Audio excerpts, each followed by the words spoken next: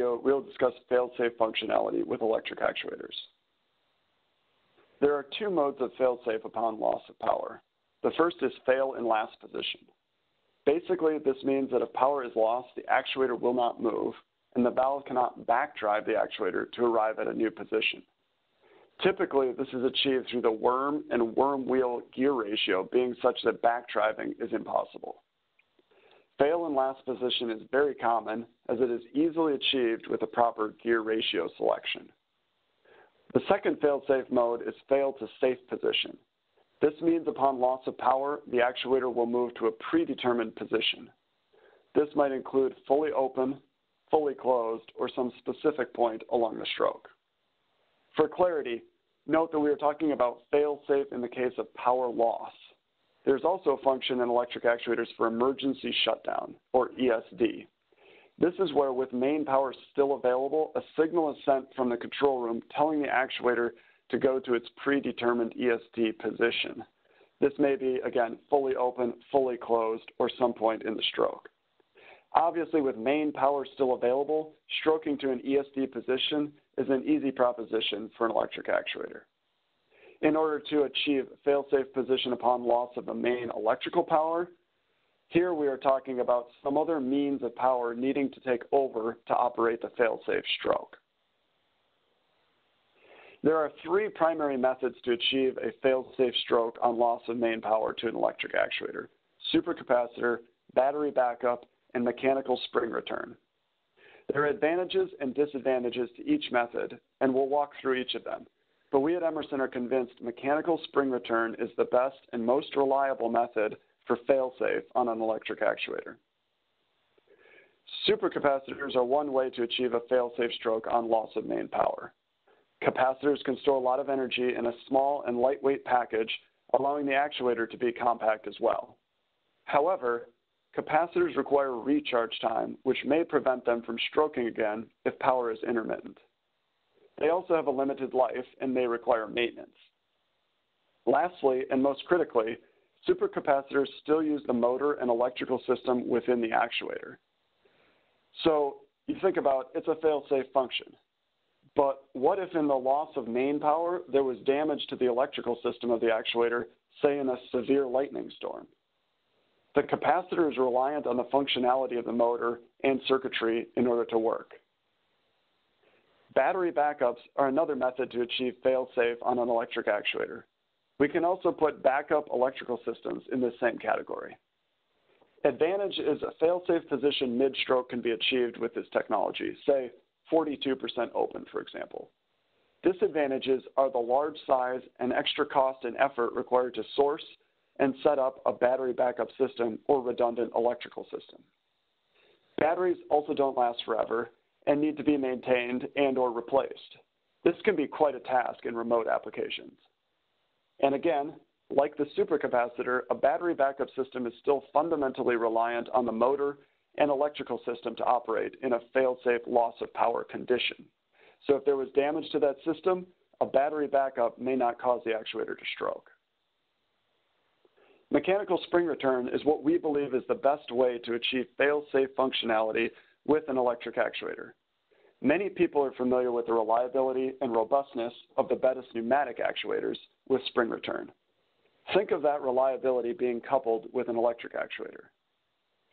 Now, the one downside to this technology is it does tend to be a bit heavier.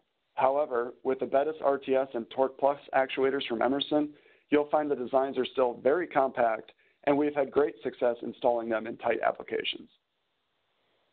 Advantages are that the spring is completely independent of the electrical system and motor.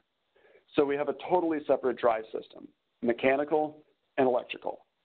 In some extreme situation, if there was a catastrophic failure to the electrical system, the actuator will still stroke with the power stored in that spring. Spring returns are completely maintenance free. No need to worry about checking on the health of batteries or supercapacitors.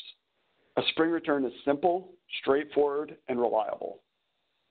So in summary, there are three types of fail-safe methodologies with advantages and disadvantages to each. However, the mechanical spring return approach will give you the best guarantee of performance, reliability, and peace of mind. A related topic to failsafe is SIL, or Safety Integrity Level. SIL ratings are basically a measure of risk of failure within a safety instrumented system. SIL ratings are from SIL 4, being the least risk, most robust system, down to SIL 1. In industrial environments, SIL 4 is basically impossible to achieve.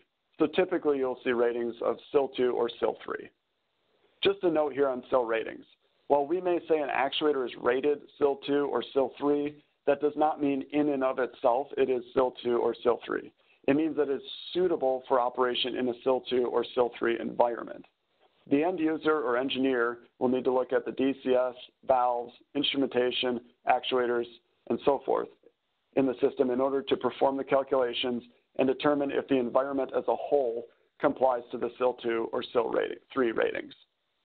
The actuator is one piece of the puzzle. Many electrical actuators in the market are rated as SIL 2 in a singular unit or SIL 3 if used redundantly. For example, to ensure shutoff, as in this picture, two Bettis XTE 3000s are set up in series to achieve a SIL 3 rating on closure of the pipeline. If we needed to ensure that the pipeline opened, the two actuators would be set up in parallel.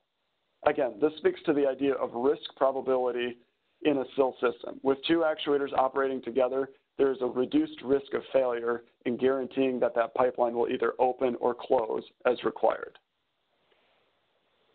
So while redundant actuators are the typical approach, we have a better solution with a Bettis RTS actuator with mechanical failsafe.